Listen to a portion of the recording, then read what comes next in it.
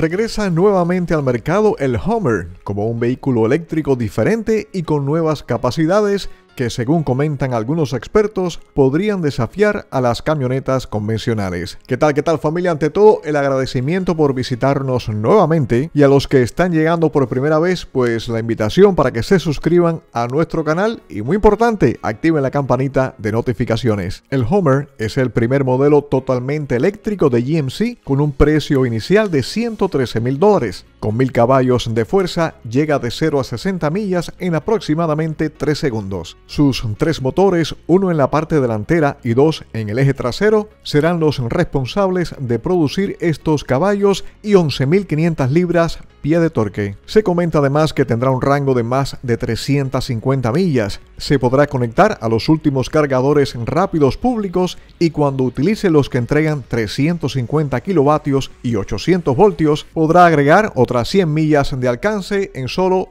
10 minutos. Como muchos recordarán, el modelo desapareció del mercado al ir decreciendo sus ventas debido, entre otras cosas, a que consumían mucha gasolina. El Homer Edition 1 o Edición 1 vendrá equipado con rines de 35 pulgadas y ofrecerá hasta 18 cámaras para facilitar las maniobras dentro y fuera de la carretera. Su techo contará con paneles Sky que lo transformarán en un convertible. Recuerden también amigos que han habido llamados a revisión de otros modelos. Les he dejado en la descripción de este video el link o enlace para que tengan más información. Las placas de deslizamiento o lo que GM llama deslizadores de rocas ayudarán a proteger el tren motriz y las baterías al transitar por terrenos accidentados. También el modo de extracción ayudará aumentando la distancia al suelo del vehículo en 6 pulgadas. Hasta 9 camionetas totalmente eléctricas saldrán al mercado a mediados de la década, lo que quiere decir que nuestro Homer tendrá una seria competencia. A pesar de su precio, se informó que las primeras unidades del Homer Edition 1 se agotaron en menos de una hora después de su presentación. Y como siempre, aquí vamos con nuestra pregunta. ¿Está el mercado preparado para este tipo de vehículos?